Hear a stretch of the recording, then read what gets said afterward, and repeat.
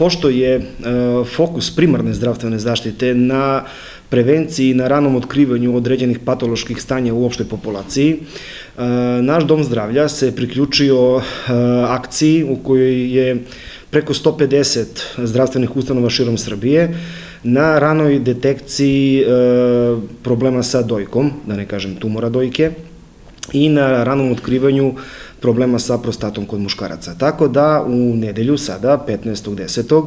Eh, je organizovan screening eh, gde, je fokus na žene eh, uzrasta od 40 godina pa naviše i na muškarce od uzrasta od 49 godina pa naviše.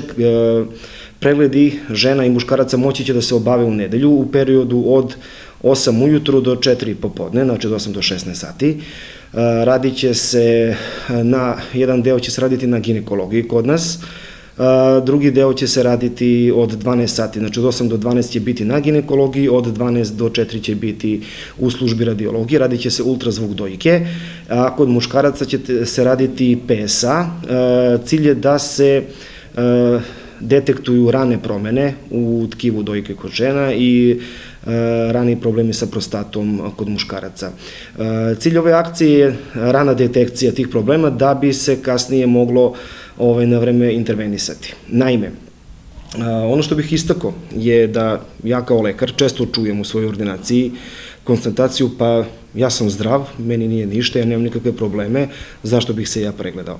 Upravo ta grupa ljudi je nama cilj kada se jave neki određeni problemi, često već gubimo trku sa vremenom.